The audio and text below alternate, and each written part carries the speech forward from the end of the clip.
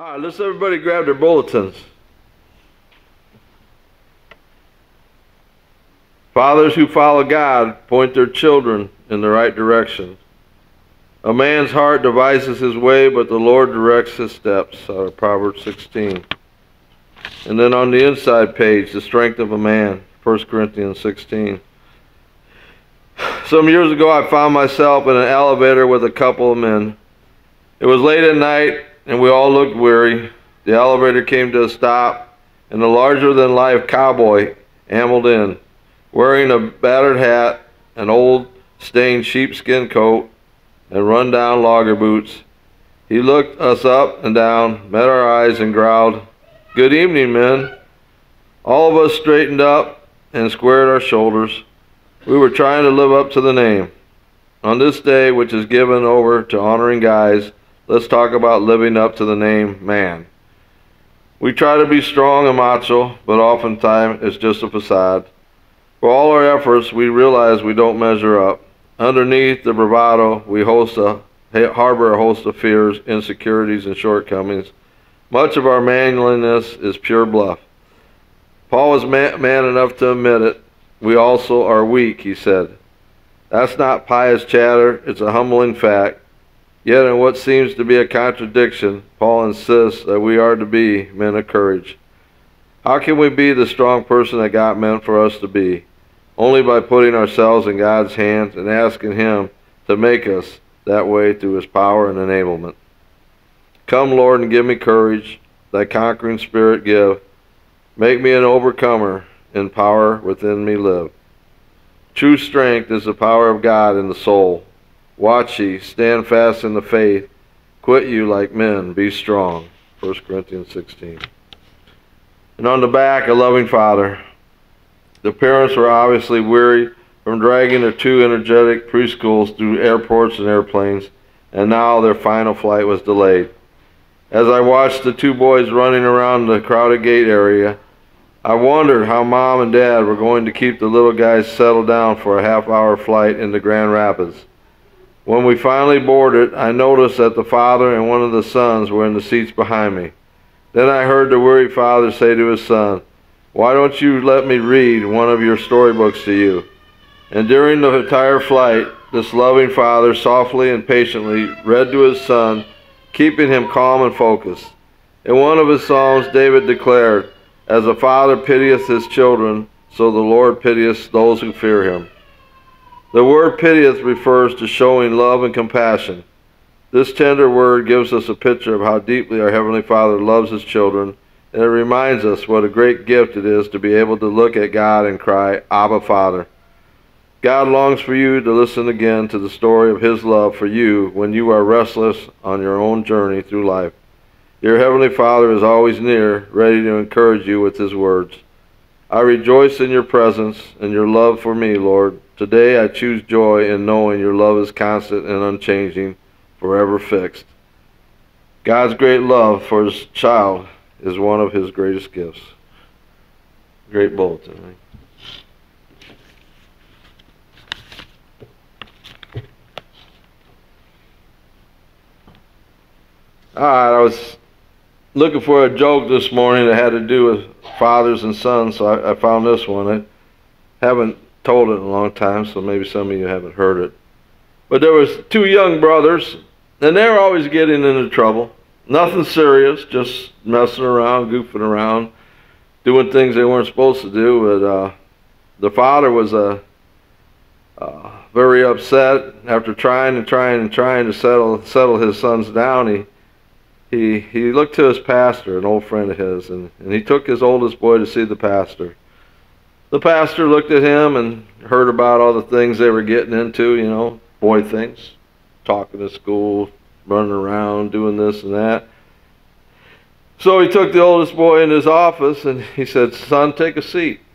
And the pastor just looked at him and stared at him for about two minutes, and the boy was just kind of getting nervous and looking at him. And finally, the pastor said, Where is God? And then it was silent for a couple minutes. And Again, the pastor said, Where is God? And the young boy was kind of getting a little bit scared. You know, he's like, wouldn't say nothing. Then finally again the pastor said, Where is God? And the young boy was so scared he jumped up, he ran out the door, ran home, went home, went and talked to his brother, and he said, Hey, hey Timmy, he said, uh, uh, God's missing and they're trying to pin it on us. All right, that's a good Father's Day joke, I think. anyway, happy Father's Day to all, all the fathers out there. And what's cool is uh, we have an awesome Heavenly Father. And He loves us so much that He would give up His Son on the cross. I heard a, a, a, a preaching on this a long time ago, and there was a guy who was in charge of uh, you know, the bridges that go up and down. And he was in charge of, you know, making the bridge go up and down. And his young son had got trapped somehow down underneath with all the gears and everything. And uh, the father had a choice to make. He could either bring that, that, that bridge up and his son would probably perish, save a bunch of people as the boat was coming through, or he could leave the leave the bridge there and a bunch of people would die and the boat would crash and probably a bunch of more people would die and he, he chose to raise the bridge and he gave up his son to save those people. It's kind of a picture of what, what our Father did with Jesus. He saw that we were in trouble and he gave up his only begotten son. I still I, I, I love Robert Morris. He's so good. And uh, I like what he said one time. He said, he said, I still haven't got over being saved. And I think I could say the same thing. I still haven't got over it. It's still amazing grace to me. I'm still amazed every morning I wake up that I'm, I'm saved. I'm a child of God. I'm still amazed every day I go to bed thanking and praising Him. All you have to do is look at the cross to see how much we're loved that he would give his son Jesus. Not only we, we always think of the cross, the crucifixion, but I always look at the Roman scourge that he went through, and the whipping and the beating that he took as it ripped his body apart. If you ever want to really get a, a movie that depicts really what probably actually happened, go get The Passion. Uh, it's not for little kids, but you, you will you will feel different after watching that show. You will kind of see what Jesus did. It will it will they will, uh, they will touch it. Um, but I, I want us to go to a scripture. And we're all here, we're saved, and, and we know this, but we go to Romans 8, verse 31 and 32.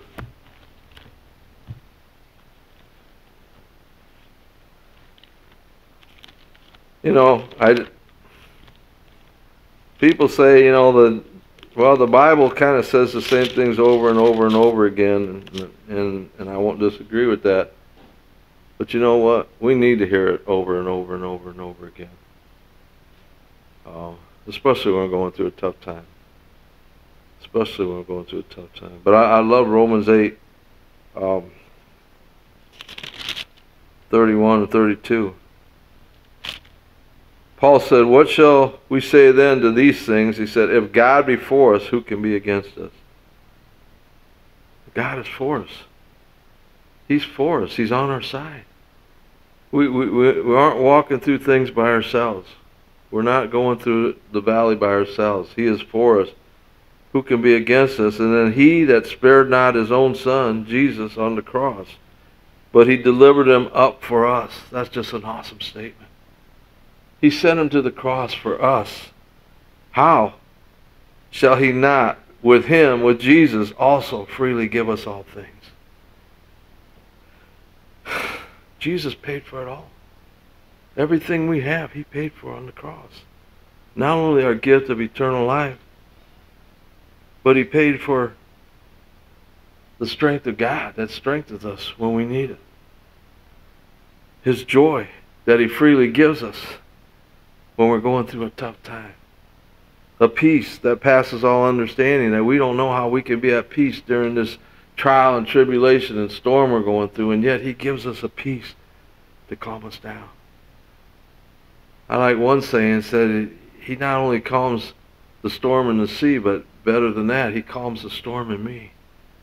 You know, right now we're in a storm. We're in a storm, take, taking care of my mom and dad, and then you guys have been through those storms. I understand now what Chris has been going through. I didn't. I, I had sympathy for him before, but I I never been through it, and I see now what it is, and we see people that have already gone through that. You know, many of us here have, have lost their parents or lost their fathers, or lost a loved one, and um, it's it's hard, but He gives us a, a peace. He gives us His help. Paul tells us to go to the throne of grace to find help in time of need. His help is real. I love with Psalms it says it looks I look to the hills to where my help comes from. My help comes from the Lord. He's a he's a help. He helps. He's I, I couldn't do what I'm doing right now without all, all the help he's pouring into me. It's just it's crazy. I mean, the other day I I was going to spend the night. I called Zach and said I can't do it. I was so crushed. I was so down. I was so. I felt like everything was falling apart, you know. And uh, I told Zach I was going to I spent the night Thursday, and I said, I can't do it another night. And Zach came to the rescue and spent that night. And, and by the next day, I felt good again. But it, the pressure, I mean, you know, I can't even imagine. You know, I, Chris talks about his mom and what he went through and depression and that. And other people have too. You know, I've seen Dominic's dad go through that, and, and Kevin's mom and dad, and Rita just with Bill, and and uh, I'm missing anybody, John and his family, and John and John, and you know we've all been through it. You know we've we it's it's it's more than you can handle. You can't get through it by yourself.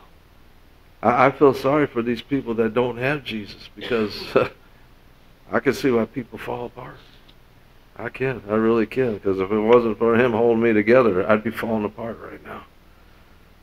Then He gives us His comfort we talked about that a few weeks ago. He, he comforts us in our times of trouble. He gives us his understanding because a lot of times we want, we want to know why. Job even wanted to know why. Why, why, why, why? So it, sometimes we're not going to know why. Sometimes he gives us an understanding of why. One of the best verses, the most incredible verses I've seen. If I, if I had to take one verse in the Bible and tell you this is the most incredible verse, I would think this might be it. If we go to John 17. John 17. The first time I read it, I had to read it like 10 times because I couldn't believe that I was reading what I was reading and I thought I misunderstood it and I couldn't figure out what he really meant. John 17, Jesus is praying for his disciples or his followers. And then he says in verse 20, he says, Neither I pray, neither pray I for these alone, not the people that just follow me here. He said, but them also which shall believe on me through their words. And that's us.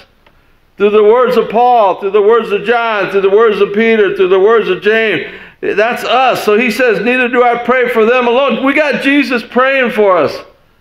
We got Jesus praying. Do we understand the power of prayer? One prayer gives you eternal life. Without saying that prayer gives you eternal damnation. When you ask Jesus to save you, that's the power of prayer. Can you imagine Jesus praying for us? Can you imagine the power in what he's praying? Can you imagine where you'd be if he wasn't praying for you? Yeah. Can you think about that? And then he says, verse 22, And the glory which thou hast given me, I have given them. God has given us his glory. That they may be one, even as we are one. That, that's God's purpose for his people, to be one. If you're part of this church, I hope you're one with us. There's some people that float through and they never become one with us, but most of us here are, are, are here. We're one. We're not going nowhere. We become one. And that's God's plan for us. And then here's the most incredible verse, I think, in the whole Bible. Jesus said, I am in them, as Jesus is in us. When we get saved, we ask Jesus to save us. He comes and lives inside us. He said, I am in them, thou in me, the Father is in Jesus, that they may be made perfect in one, and that the world may know that thou hast sent me. He's speaking to the Father now. He's praying to the Father. He said that the world will know that you sent me, Father, and has loved them as thou hast loved me. He just said the Father loves us just as he loves Jesus. That's one of the most incredible statements in the whole Bible. That our Father loves us the same as he loves Jesus. Think about it. He loves Jesus the same way he loves us. He loves us the same way he loves Jesus. That, that, I got, I can't wrap my head around that. I've read it hundreds and hundreds of times. I still don't know if I really get it. It's awesome. I just accept it and believe it. We have many examples of godly fathers in the Bible we see how much Abraham loved Isaac, his son. He sent his servant out to a far country to bring it back his wife Rebecca for him. Think about Noah, how much he loved his family. Spent 120 years building that ark to save his family. Think of all the ridicule he must have went through. As he told them God's judgment was coming, it was going to rain. You know what? It had never rained on the earth until then. It had never rained. It's going to rain. Oh, what's rain? The water's going to come from out of heaven. That ain't never happened before. You're an idiot. What are you building? Spend all your time building that ark. I bet he got made fun of every day. But yet he stayed on it and worked on it for 120 years. And he saved his family. Fathers, Father's love is sacrificial love. If you can't see it when, when the God the Father gave up Jesus, you can see it in Noah, you can see it in Abraham, you can see it in Jacob. How much he loved Joseph. And when he found out and was lied to that Joseph died, he said he was going to mourn all his days, and he did. He mourned for years and years and years until he came and found Joseph was alive in Egypt.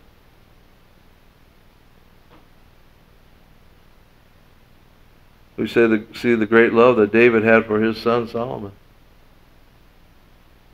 How about the son that passed away that he had with Bathsheba. He laid on the floor for three days praying to God to save his son. I love the story of the prodigal son. As the son didn't have nothing to do with his dad, he just wanted his money and he left. But every day his father come out and looked and looked and looked and looked and see if his son was coming. Every day he would go out to the hills and see, is my son coming back? He missed him so much. He loved him so much. And then one day when he did come back, it said the father went running to him.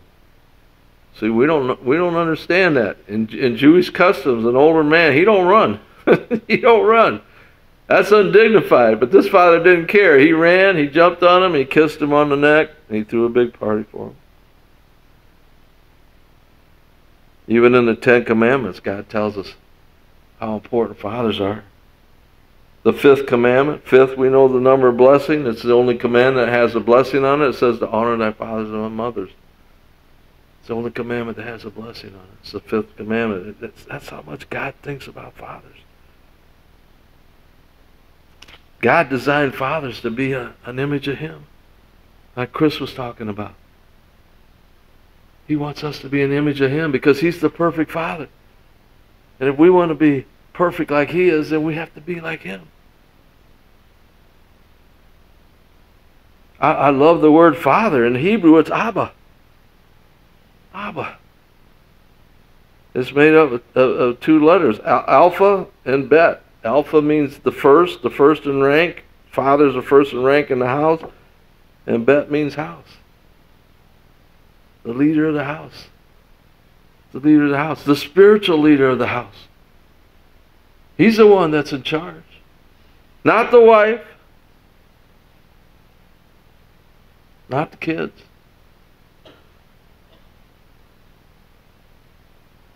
I love, uh, there's another pastor I like, Steve Furtick, if you're watching, he'll make you laugh. He said, it's sad when your kids have to ask you, are we going to church? He said, my kids don't ask me that. They know we're going. He says, because I want to be the spiritual leader that God made me to be. Because I want my kids to be blessed as much as it can possibly be. Because that's what's going to happen. I love that song you guys sing. I want to be like Jesus because he's going to be like me. Man. I see the heartache out there of these young kids without no direction and and who knows what they're following, what they're doing, you know, the drugs and alcohol and sex and everything out there. It's it's a crazy world out there. We, need to be the spiritual fathers, the spiritual leaders that our kids need. That, that's God's plan for us, to be the spiritual head of your family.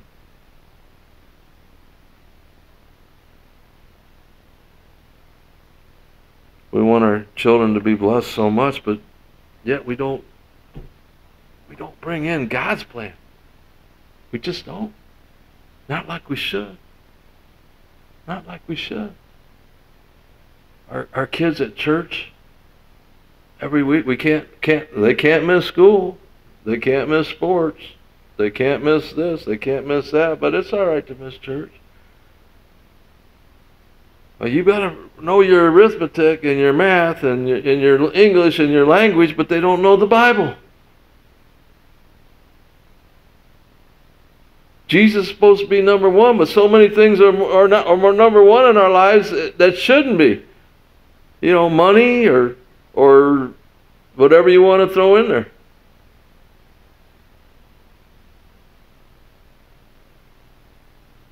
There's a guy here that used to go to church here. I love the guy with all my heart. God did saved his whole family and did some great miracles in his life, and right now his God is money.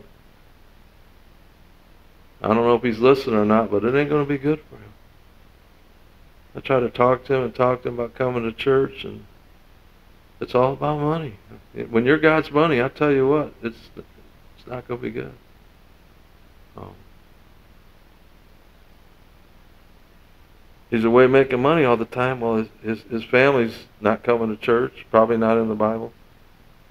I don't know what he thinks is going to happen, but it ain't going to be good. Let's, let's go see what God's plan for the house is, okay? Let's, let's see what God says about the house, all right? Let's go to Deuteronomy chapter 6. I, I love going there. The Jews call it the Shema. Shema means to hear. That means to pay attention and listen. And God says, pay attention and listen to this. I don't know if a whole lot of Christian houses are like this, but this is what God's plan for the Christian house is supposed to be. Look what he says. Deuteronomy chapter 6. It's not a coincidence, in the, it's in the fifth book of the Bible. Because Deuteronomy is quoted by Jesus more than anything, any other uh, book in the Bible. It said, Now these are the commandments, the statutes, the judgments which the Lord our God commanded to teach you. He, the, this God says, I've commanded these to, to, to you that you might do them in the land where you go to possess it. That's a promised land. That thou mightest fear the Lord thy God, to keep all his statutes, his commandments, which I command thee this day, thou and thy son and thy son and thy son's son, all the days of thy life, that thy days may be prolonged. Long life. Promise. Hear therefore, O Israel, and observe to do it. I, I wish we could get this. I really do because this is God's plan for our house, that it may be well with thee. Are we getting that? God said, when you follow my plan, so it will be well with you. Do you want it to be well with your kids? Because if you're the father and the spiritual father, this is, this is the plan he's given you. There's no other plan. There's no other plan. This is it right here, that it may be well with you, that it may be well with your, your marriage and your family and your kids, that it may be well with you. And then look what he says.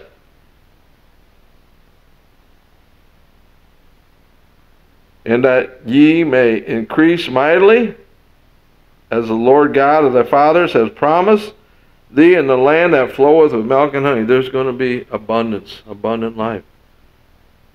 And again, Shema. Shema means to hear. God's saying here, listen to this, listen to this, listen to this. Hear, O Israel, the Lord our God is one Lord. Is he your Lord? Or is he just your Savior? Jesus said, Why call me Lord, Lord, and not do the things I say? That thou shalt love the Lord thy God with all thine heart, with all thy soul, and with all thy might. Jesus said, If you love me, you'll, you'll keep my commandments. He said, Those that don't love me don't keep my commandments. So love the Lord thy God with all thy heart, with all thy soul, with all thy might. And these words which I command thee this day shall be in thine heart. And thou shalt teach them diligently unto thy children. That's the father's responsibility right there.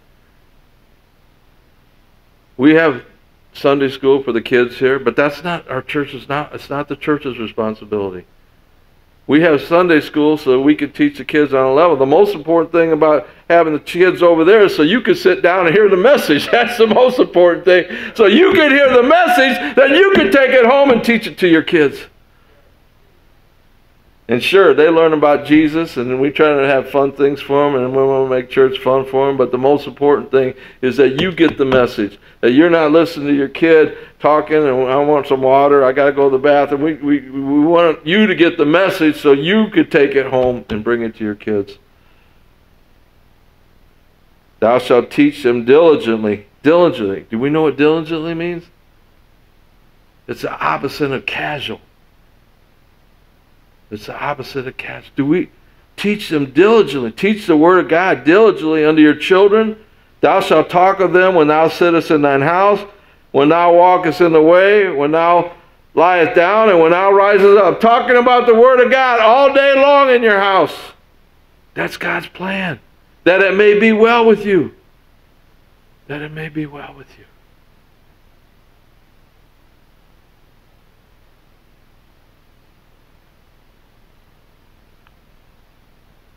Verse 8, And thou shalt bind them for a sign upon thine hand, and they shall be as frontlets between thy eye. And we know about that. The Jews would wrap a strap with a box on their hand and wrap a strap with the box on. It represented that your hand is always doing the work of God and that your mind is always on the Word of God. And thou shalt write them upon the post of the house and on the gates. That's the mezuzah that they would put up on their post. It's a little box with God's Word on it, and they would put Scripture in it. That's God's plan for our house. If we were following that plan, the Bible says He gives us a promise that it'll be well with you. See, when I was growing up, I had a great dad. But he didn't know the Bible. I had an awesome dad. I, I love my dad so much. He blessed us so much. He was a great father. He took care of his family. He sacrificed for his family. He loved us. He worked hard for us. Usually he was working two jobs to, to give us a life that he never had. He coached our, our baseball teams when we were younger, and he taught us how to be good, honest, hardworking men.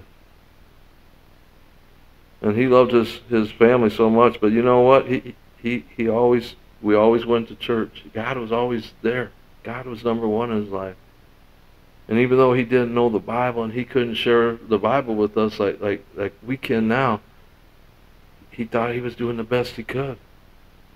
And now that he can't take care of himself anymore, I'll, I'll take care of him. If I have to spend 20, 30, 40 hours a week, I will take care of him. I'm glad we got help. I'm glad Zach Zach's helped me out a lot. And we got Sylvia and Rhonda. And Carol Carol helped out so much. You know, Lauren. Lauren's been help. Lauren gets on the computer. She's the she's the bloodhound that finds out all the things we can get, getting help from the vets and stuff like that. I don't know how to get that stuff or do that stuff. But I know I'm just praying, praying, praying for help because God will always provide. He always has.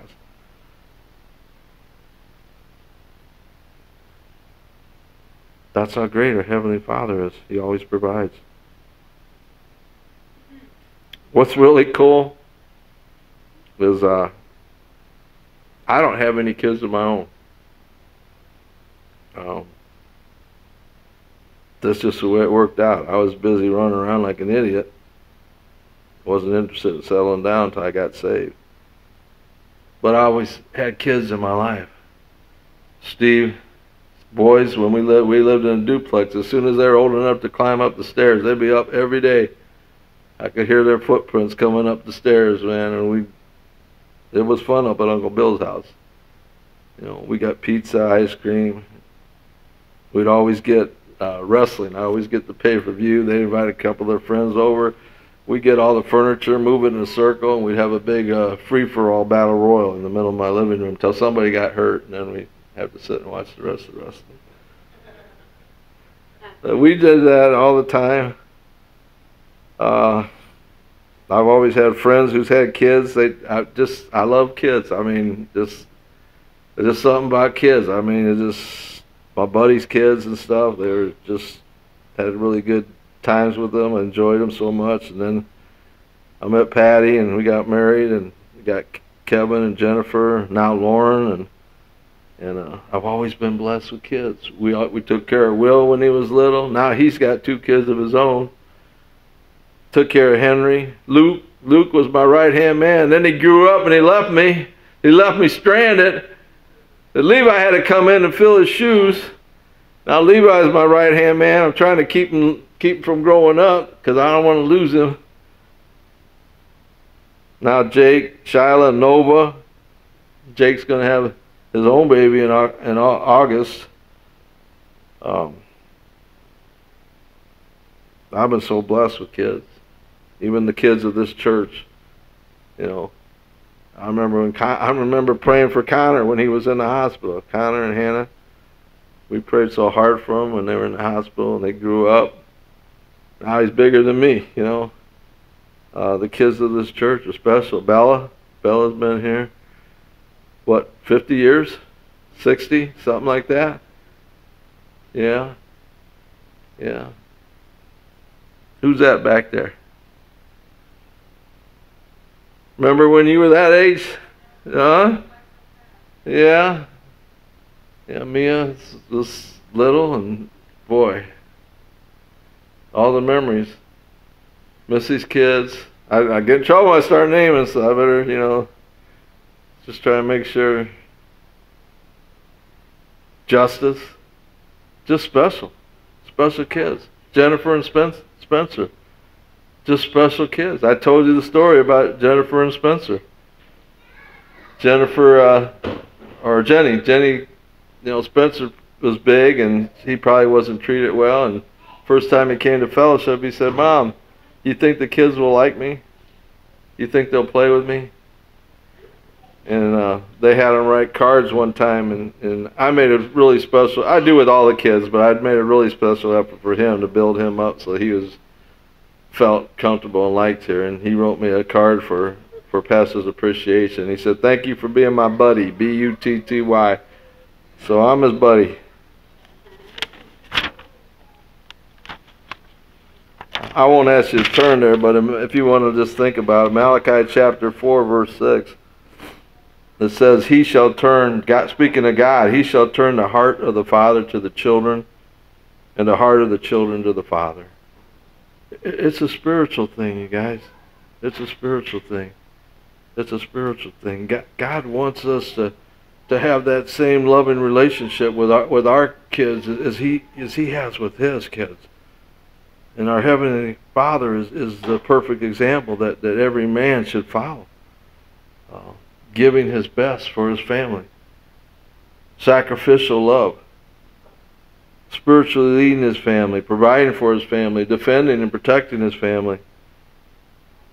And I want to tell you about God's great plan. We just finished up Revelation. Let's go to Revelation chapter 21. Tell you the truth, I'm tired of this world. I hope the rapture happens before we even leave here. I'm ready to go home. I'm beat. I'm wore out. I can't know if I can take it no more. But we got something to look forward. If we go to Revelation chapter 20, 21, Jesus is talking about the new heaven, new earth that he's going to set up. And look what it says in verse 4.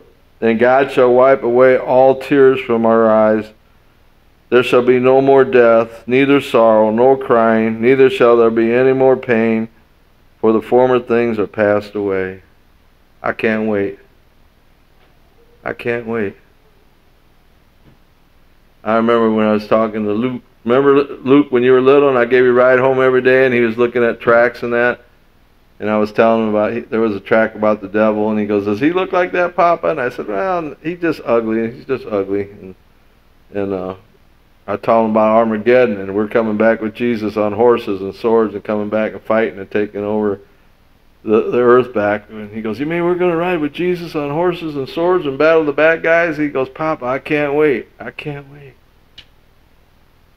And you call now. If Levi's over there, Levi puts his hands together, puts his head down, and prays. So if you want some really strong prayers, call us when we got Levi.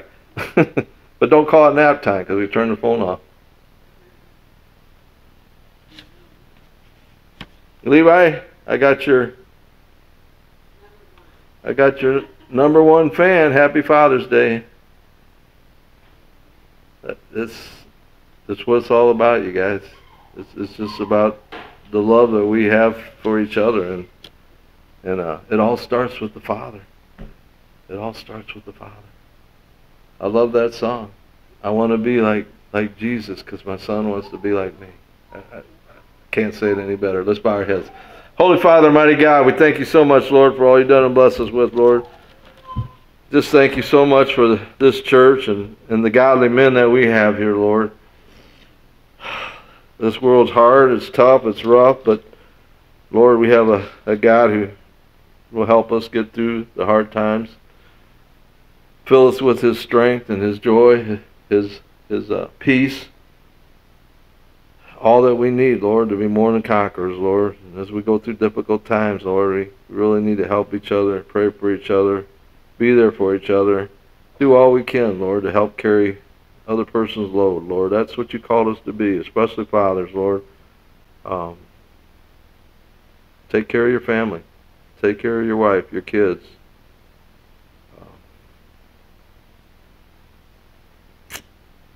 Do all we can, Lord, that it may be well with us. In Jesus' name we pray. Amen.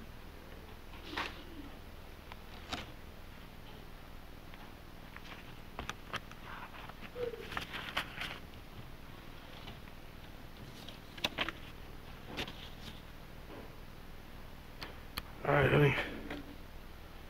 Oh.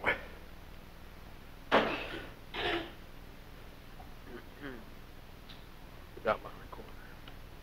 Oh. Yeah. Alrighty, um, I just got a text from my daughter. If you could just keep uh, them and my um, uh, my nephews in prayer because they were called to their dad's hospital bed, and um, she had to go get her youngest son and uh, get him there this morning. Anyway, um, we'll uh, sing "Family of God" on page 282 in the hymnal, if I can. I'm so glad I'm a part of the family of God. I've been washed in the fountain, cleansed by His blood.